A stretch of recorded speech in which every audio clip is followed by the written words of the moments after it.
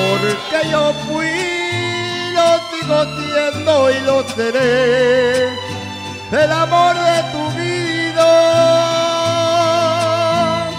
Aunque maldigas el haberme conocido, no tiene sentido,